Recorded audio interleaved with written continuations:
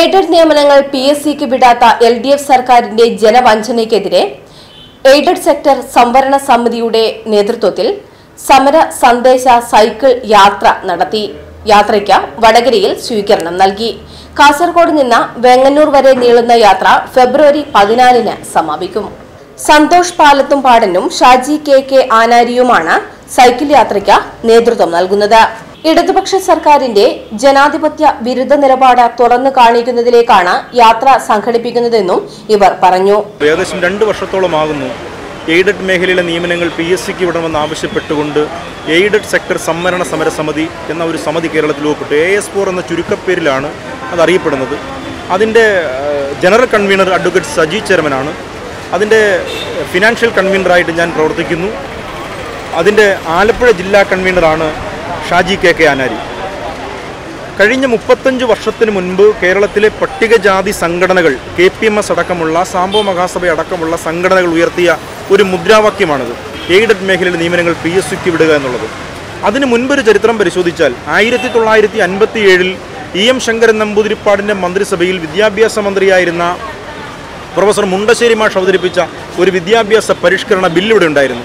ആ ബില്ലിനെ അട്ടിമറിച്ചുകൊണ്ട് N S എസിനെയും മറ്റു ക്രൈസ്തവ മാനേജ്മെന്റുകളെയും സഹായിക്കുന്ന രീതിയിൽ പട്ടം താണുപിള്ള എന്ന് പറയുന്ന ഒരു മുഖ്യമന്ത്രി ഈ സംസ്ഥാനത്ത് വരികയും അദ്ദേഹം ഒരു നിയമനിർമ്മാണം നടത്തി അട്ടിമറിക്കുകയും ചെയ്തു.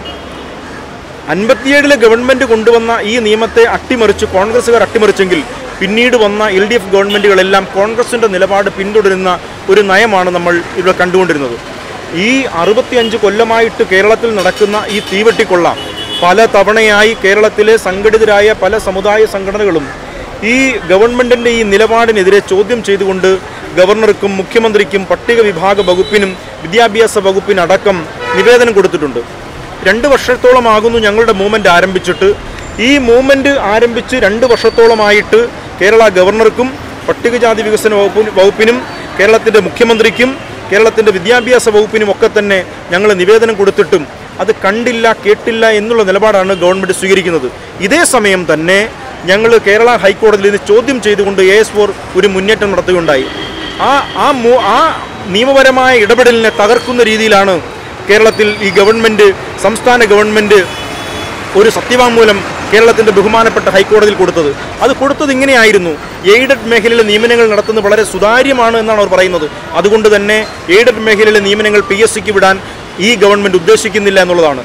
ഇദ്ദേഹം ഈ അഭിപ്രായം ഈ സത്യവാങ്മൂലം ബഹുമാനപ്പെട്ട ഹൈക്കോടതിയിൽ കൊടുത്തത് രണ്ടായിരത്തി പത്തൊൻപത് ഓഗസ്റ്റ് മാസത്തിലാണ്. എന്നാൽ അതേ വർഷം തന്നെ ഈ അഴീക്കോട് എം എൽ എ ആയ കെ എം ഷാജി എയ്ഡഡ് മേഖലയിൽ അഴിമതി നടത്തിയെന്ന് ആരോപിച്ചുകൊണ്ട് ഒരു വിജിലൻസ് കേസ് നിലനിൽക്കുന്നുണ്ട്. അതിന്റെ അർത്ഥം എയ്ഡഡ് മേഖലയിൽ ഒരു തീവെട്ടിക്കൊള്ള നടക്കുന്നുണ്ട് അഴിമതി നടക്കുന്നുണ്ട്. ആ അഴിമതി ഞങ്ങൾ അംഗീകരിച്ചു തരാൻ തയ്യാറല്ല എന്ന് ഗവൺമെന്റ് പ്രതിനിധിയായിട്ട് മുഖ്യമന്ത്രി പിണറായി വിജയൻ കൊടുത്ത മൊഴിയായിട്ടാണ് കൊടുത്ത സത്യവാങ്മൂലമായിട്ടാണ് ഞങ്ങൾക്ക് തോന്നിയിട്ടുള്ളത്. അതുകൊണ്ട് ഇതിനെ ചോദ്യം ചെയ്യുവാൻ കേരളത്തിലെ പ്രബുദ്ധരായ ജനാധിപത്യ വിശ്വാസികളായ രാഷ്ട്രീയ ഭേദമന്യേ സമുദായ ഭേദമന്യേ മതഭേദമന്യേ അങ്ങനെ ഐക്യമായി പോകുവാൻ കഴിയുന്ന ഒരു ജനത ഇന്ന് കേരളത്തിലുണ്ട്. സംസ്ഥാന സർക്കാരിന് മുന്നിൽ നിവേദനങ്ങളിലൂടെയും നിരവധി സമരങ്ങളിലൂടെയും ജനാധിപത്യ കേരളത്തിന്റെ മുദ്രാവാക്യത്തെ അവതരിപ്പിക്കാൻ ശ്രമിച്ചിട്ടുണ്ട്. പക്ഷേ അതൊന്നും മുഖവിലേക്ക് എടുക്കാനോ പരിഗണിക്കുവാനോ ഇടതു സർക്കാർ തയ്യാറായില്ല എന്നും ഇവർ ആരോപിച്ചു.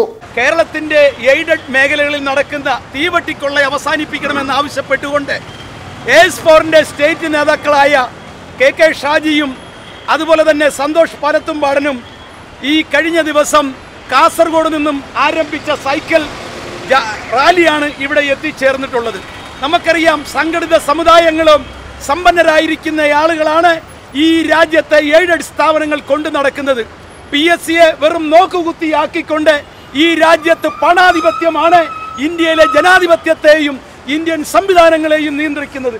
അതുകൊണ്ട് തന്നെ കേരളത്തിലെ എയ്ഡഡ് മേഖലയിലെ നിയമനം പരിപൂർണമായും പി എസ് സിക്ക് വിടണമെന്ന് ആവശ്യപ്പെട്ടുകൊണ്ട് സന്തോഷ് പാലത്തുംപാടനും കെ കെ ഷാജിയും നയിക്കുന്ന ഈ റാലി ഈ സൈക്കിൾ റാലി ഇവിടെ വടകരയിൽ എത്തിച്ചേർന്നിരിക്കുകയാണ്.